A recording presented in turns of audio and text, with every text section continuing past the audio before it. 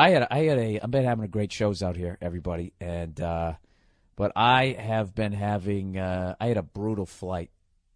All right, I flew out of LAX, Los Angeles International Airport. That for some reason, if you go beyond Colorado, you just can't get a fucking direct flight anywhere. I don't I don't get it. When I was in New York City, I could fly to all these places directly. Maybe it's because I was in New York and it was only an hour and a half away. I don't I don't fucking know. It just doesn't seem like he can fly anyway. So anyways, I got to fly LA to Phoenix, Phoenix to Columbus. All right? On US Air. So, I get on the plane and there's two empty seats next to me and it's getting close to the point where they're going to close the door to the plane and I'm excited like holy shit. I'm going to have this whole fucking row to myself. This be nice. I can stretch out a little bit, take my carry on, stick it under the other chair. This is going to be great.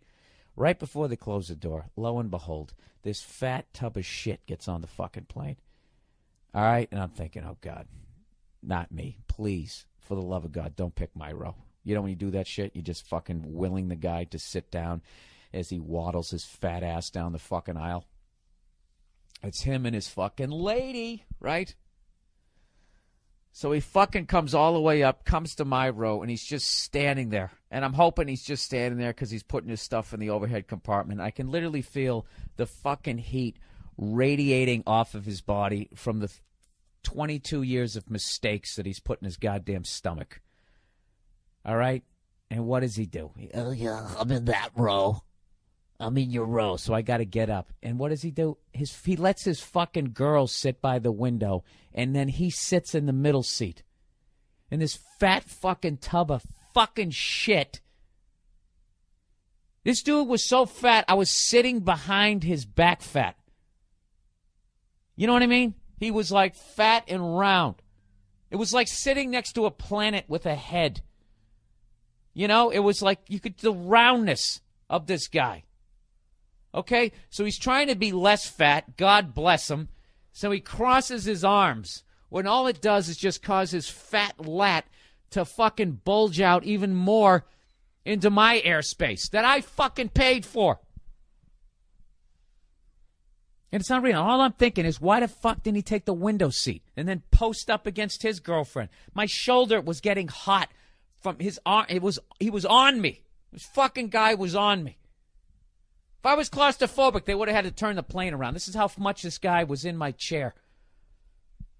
And I'm thinking, why the hell, why didn't you just take the fucking window seat, you fat fuck?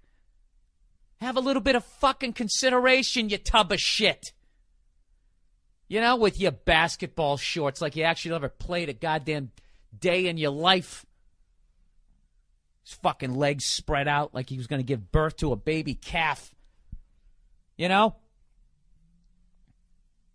Why don't you sit near the window? You know what I realized after a while? He didn't sit near the window because he's so fucking fat, he can't.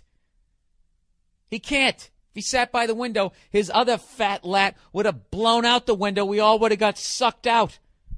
Unless his tub of shit body fucking somehow got stuck in the fuselage, which if you saw him, wouldn't, wouldn't be beyond you, a possibility. Unfucking believable. And he's sitting there. This is what kills me.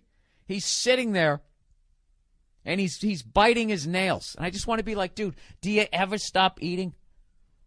Is there a moment and you're, you're literally consuming yourself right now? I know, I know, I know what you guys are thinking. Well, hey, Bill, why don't you fly first class? Oh, yeah? Well, hey, why don't you go fuck yourself, hypothetical person who said that?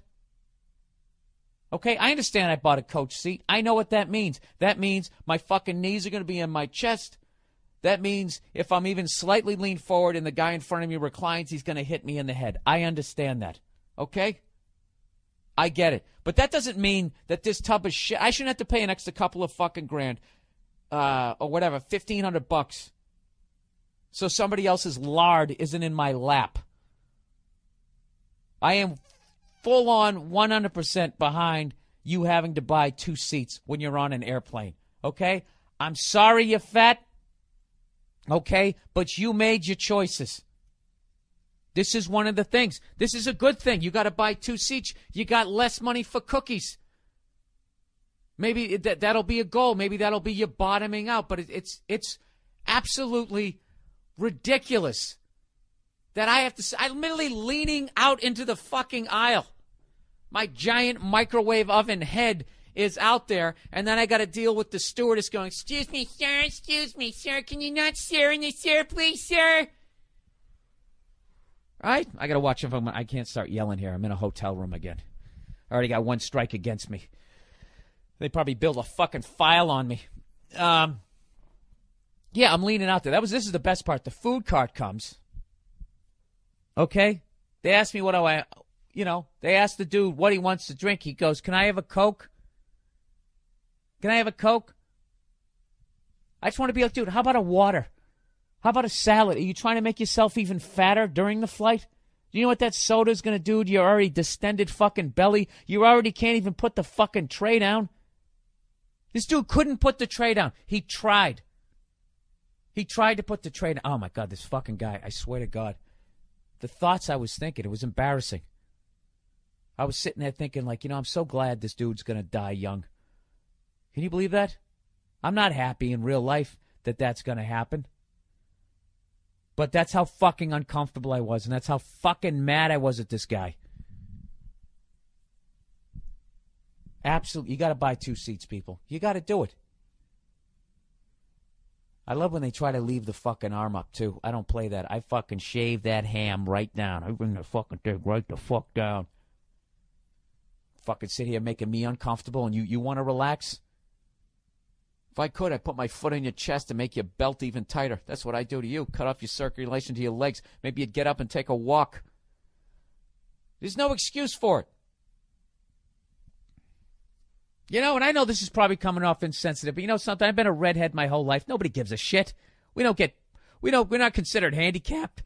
Capped. We're not considered handicapped. This always happens when I scream all weekend. We're not considered handicapped. We don't get our own parking spaces. These tubs of shit, they're getting their own parking spaces now.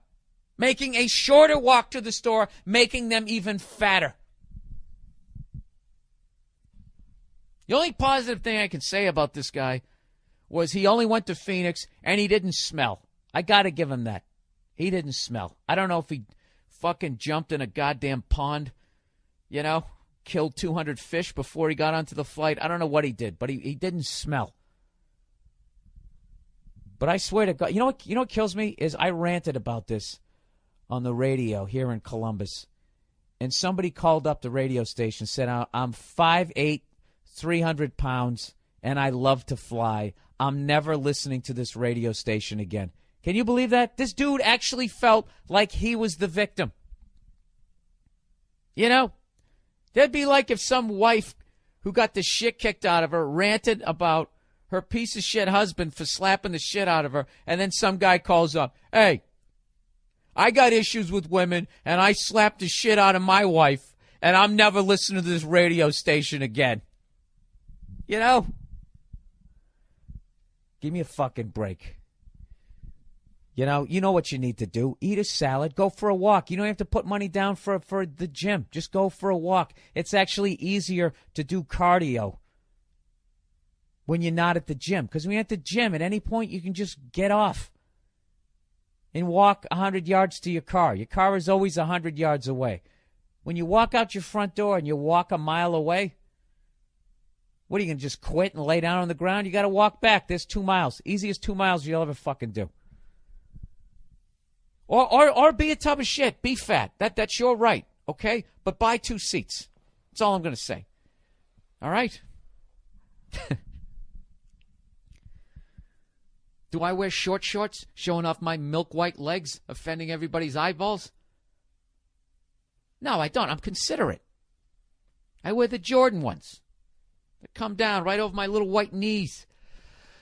Um, you're listening to the Monday Morning Podcast, and yes, it is insensitive. Doesn't mean it's wrong. I'm right.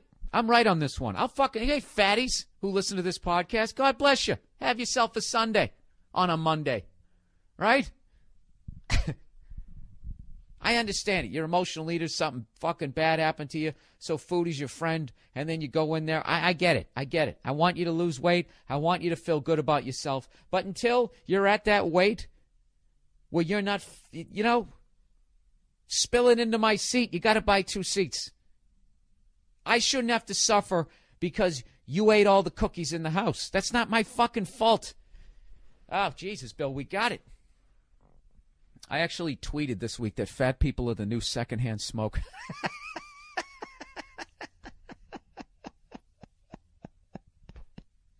hey, you want to be fat? Go outside.